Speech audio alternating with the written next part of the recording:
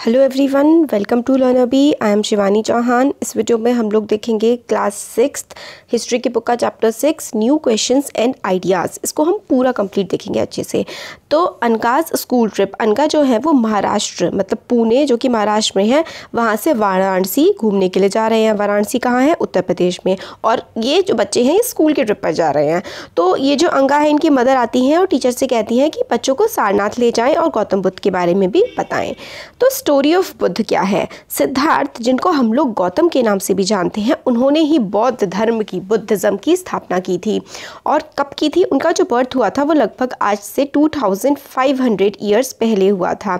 ये टाइम था जिसमें लोगों की लाइफ में काफ़ी ज़्यादा बदलाव आ रहे थे। हम लोगों ने चैप्टर फाइव में देखा कि काफ़ी सारे महाजनपद बन रहे थे, जो कि जैसे कि एक मगध, कोसाला, ये सारे एग्जाम्पल्स हैं महाजनपद के, ये काफ़ी ज़्यादा पावरफुल हो गए थे। नई सिटीज़ बन के आ रही थी, लोगों की लाइफ्स में काफ़ी ज़्यादा बदलाव आ रहे थे, नए गाँव, शहर निकल के आ रहे थे। आगे के चैप्टर्स में भी हम इसके बारे में देखेंगे। काफ़ी सारे थिंकर्स जो है, लोग जो सोचते हैं, इन चीज़ों के बारे में जो हिस्टोरियंस हैं, उन्होंने काफ़ी कुछ सोचा और हमें काफ़ी कुछ बताया। वो ये जानना चाहते थे थिंकर्स जो है, वो जानना चाहते हैं कि उस टाइम क्या हुआ लाइफ में, है ना? मतलब आज से 2500 साल पहले क्या चल रहा था? They also wanted to try and find out the true meaning of life तो ये two thousand five hundred years के टाइम पे ना बहुत ज़्यादा चेंजेस चल रहे थे सोसाइटी में। तो बुद्धा का जन्म भी इसी समय पर हुआ था। बुद्धा जो है, वो एक प्रिंस थे, अभी हम देखेंगे, और वो एक मीनिंग जानना चाहते थे लाइफ का, कि हमारी लाइफ जो है, जैसे चल रही है, क्यों चल रही है, क्यों होता है ये सब लाइफ में। तो इसके लिए उन्होंने काफ़ी कुछ किया था। वही हम देखेंगे चैप्टर में।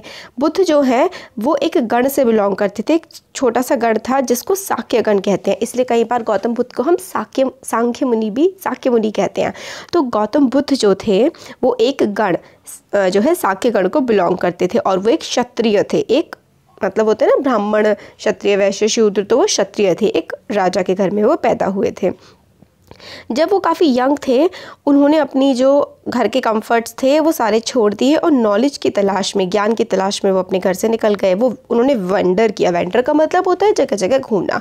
He wandered for several years कई सालों तक वो घूमते रहे। काफ़ी सारे लोगों से मिले, काफ़ी सारी डिस्कशंस करी। बाकी दूसरे थिंकर्स से। थिंकर्स होते हैं ऐसे लोग जो चीज़ों के बारे में सोचते हैं। तो काफ़ी सारे थिंकर्स से उन्होंने डिस्कशन करी और फाइनली उनको रियलाइजेशन हो गया। उन्होंने मेडिटेशन करी कई दिनों तक और कहाँ पर बैठकर पीपल का ट्री है जिसको आज हम बोधि ट्री कहते हैं। अब पीपल के पेड़ के नीचे बैठ कर के उन्होंने बोध गया में, बोध गया बिहार में एक जगह है, वहाँ पर पीपल के पेड़ के नीचे बैठकर गौतम बुद्ध ने मेडिटेशन करी थी, ध्यान लगाया था और वहीं पर उनको ज्ञान की प्राप्ति हुई थी। Where he attained enlightenment enlightenment का मतलब है ज्ञान की प्राप्ति हो जाना। इसके बाद से उनका नाम बुद्ध पड़ गया। बुद्ध का मतलब होता है वाइस वन यानी कि होशियार। ठीक है? He then went to Sarnath इसके बाद जो बोध गया में उनको एनलाइटनमेंट मिला था बोध गया एनलाइटमेंट एनलाइटनमेंट उनका हो गया। उसके बाद वो सारनाथ गए। सारनाथ कहाँ पर है? सारनाथ है वाराणसी के पास, जहाँ पर उन्होंने काफ़ी सारे अपने लोगों को, जो उन्होंने चीज़ें सीखी, जो उन्हें ज्ञान की प्राप्ति हुई, वो उन्होंने बाकी सारे लोगों को समझाया, बताया। और बाकी पूरी ज़िंदगी वो अपनी अलग अलग जगह ट्रैवल करते रहे। एक जगह से दूसरी जगह वो जाते रहे अपनी टीचिंग को फैलाने के लिए। और फाइनली मतलब उनकी जो डेथ है वो कुशीनारा। कुशीनारा एक जगह है, वहाँ पर इनकी डेथ हो गई। तो इनको, इनका जन्म कहाँ पर हुआ था? जन्म जो है बुद्धा का नेपाल वाले रीजन में हुआ था, किसगढ़ में? साकेगढ़ में। और फिर ये बोध गया, बिहार में इनको एनलाइटनमेंट मिली और ये कुशीनारा में इनकी डेथ हो गई। बुद्धा की जो, अब ये देखिए, ये बुद्धा का स्तूप अभी देखते हैं, इसको पहले यहाँ देख लेते हैं। बुद्ध ने हम लोगों को ये सिखाया कि लाइफ जो है ना, वो दुखों से भरी हुई है। Life is full of suffering मतलब दुनिया जो है दुख से भरी हुई है और दुखी है मतलब खुशी नहीं है दुनिया में। और उन्होंने बताया इसका कारण क्या है? कारण है क्रेविंग्स एंड डिज़ायर मतलब पूरी दुनिया दुख से क्यों भरी हुई है? क्योंकि हमारे मन में बहुत ज़्यादा डिज़ायर्स हैं, बहुत ज़्यादा इच्छाएँ हैं। भाई, ये भी चाहिए, वो भी चाहिए, और हमें जो चीज़ें फिर मिलती नहीं है, और अगर तो मतलब हम लोग दुखी हो जाते हैं। तो हम लोग दुखी क्यों होते हैं? क्योंकि हमारे मन में बहुत ही ज़्यादा इच्छाएँ हैं, इस वजह से हम दुखी रहते हैं।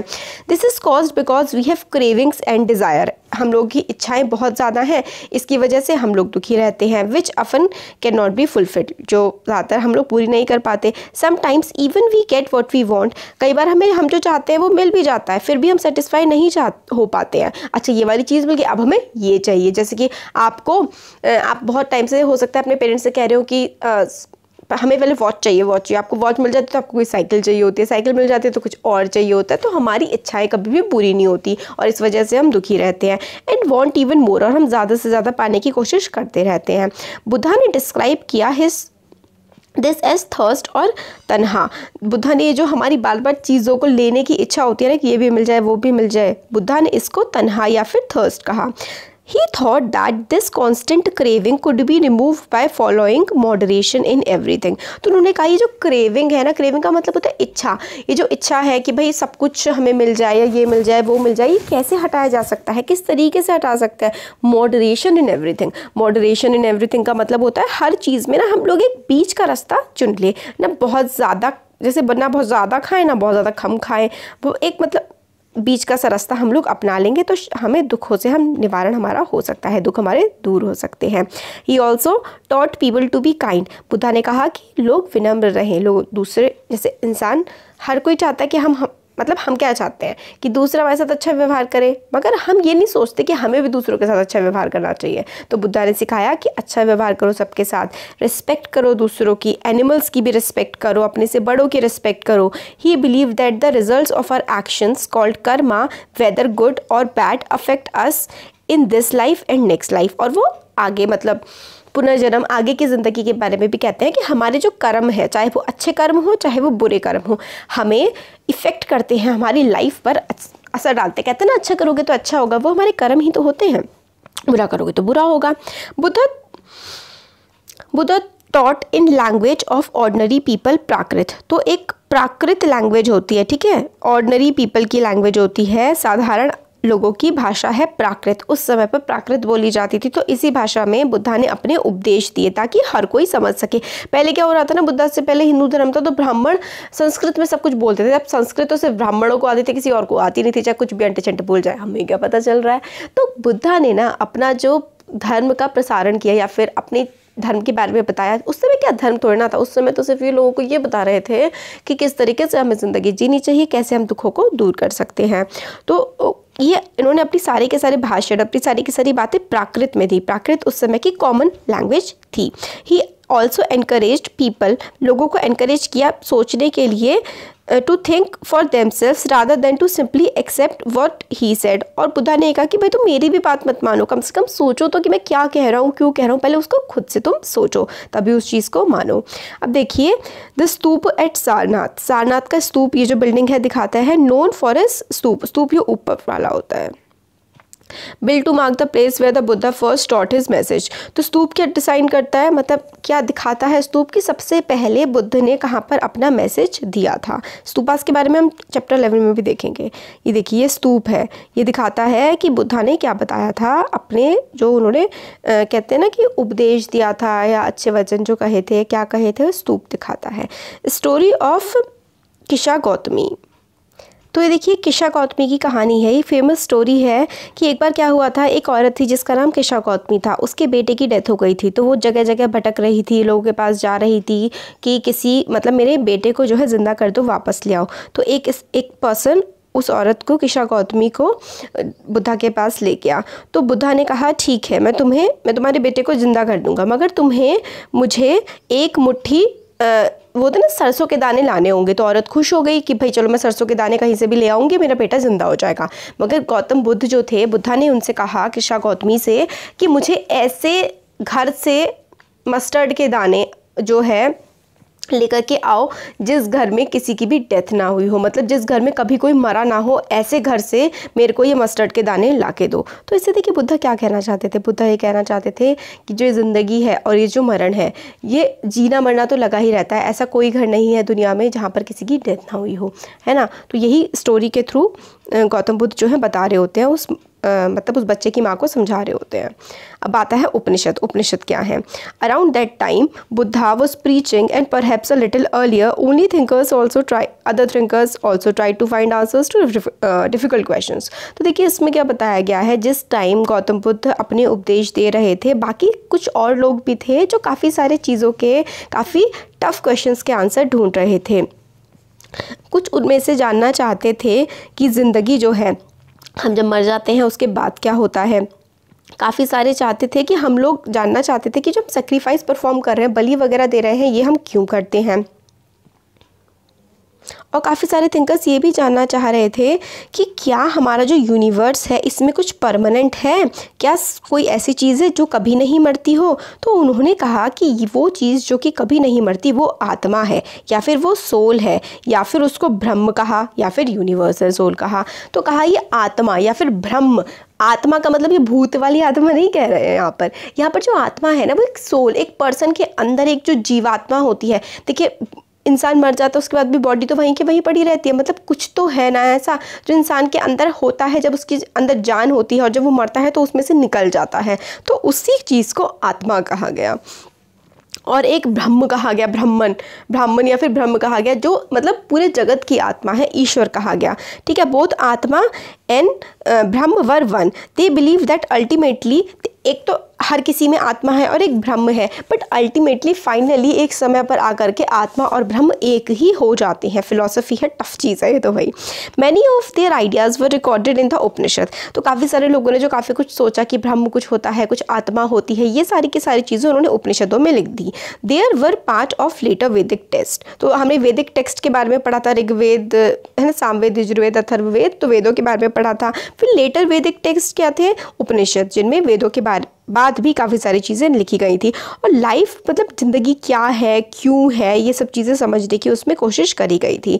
तो six schools of Indian philosophy ये देखिए। इंडियन फ़िलासफ़ी के छः स्कूल्स या फिर आप छः पार्ट्स कह सकते हैं।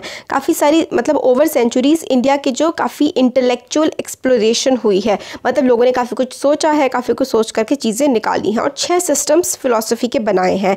वैशेषिक न्याय, सांख्य, योग, पूर्व मीमांसा, वेदांत या फिर उत्तर मीमांसा। वेदांत को ही उत्तर मीमांसा कहते हैं। तो ये देखिए आपसे वैसे एग्ज़ाम में पूछा जाएगा, मुश्किल ही है। सिक्स मतलब सिक्स क्लास के लिए तो बाकी अगर कॉम्पिटेटिव एग्ज़ाम यूपीएससी वगैरह उसमें तो पूछा ही जाता है कि six Indian schools of philosophy क्या क्या हैं।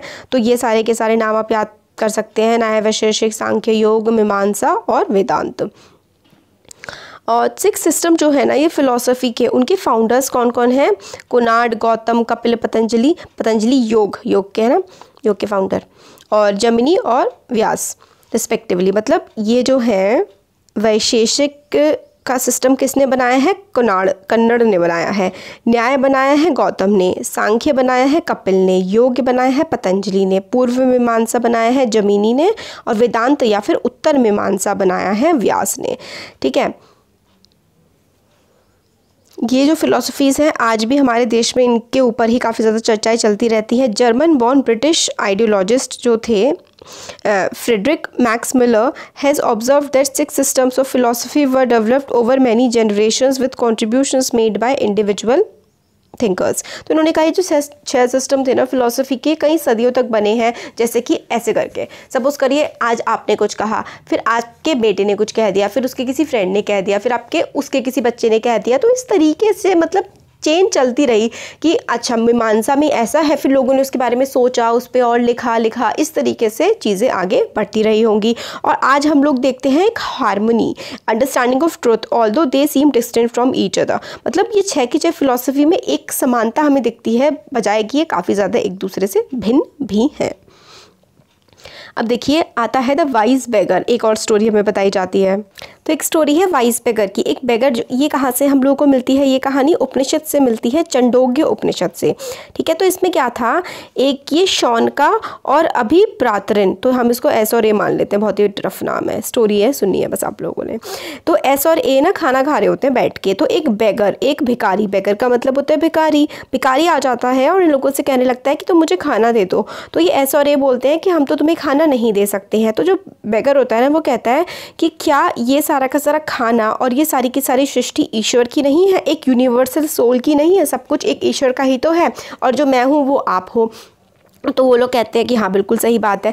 तो वो कहते हैं, बैगर इन दोनों से कहता है ऐसा और ऐसे तो क्या अगर आप मुझे खाना नहीं दोगे, मुझे खाना देने से मना करोगे तो आप उस यूनिवर्सल सोल को, यूनिवर्सल सोल जो एक शक्ति हर किसी में विद्यमान है, आप उसको खाना देने से मना नहीं कर रहे हो? तो ये कहते हैं हाँ बिल्कुल सही बात है। और फिर ये खाना दे देते हैं बैगर को। तो वाइस बैगर की ये कहानी है। कुछ जितना आपके सिलेबस के लिए इतनी इंपॉर्टेंट नहीं है, बस एक कहानी बताई गई है। हाँ तो इसमें ये बताते हैं, यहाँ से आप देखते हैं कि उपनिषद क्या है। उपनिषद में आत्मा और ब्रह्म के बारे में लिखा गया है। अब काफ़ी सारे आइडियाज़ उपनिषद में लिखे गए हैं। इनको हम लोग लेटर वैदिक टेक्स्ट उपनिषद को हम लोग लेटर वैदिक टेक्स्ट कहते हैं, क्योंकि ये वेदों के बाद लिखे गए हैं। उपनिषद का लिटरल मीनिंग मतलब अगर इसका हम शब्द को भेद करके देखें तो इसका मतलब होता है अप्रोचिंग या फिर सिटिंग नियर मतलब पास में बैठकर लिखना।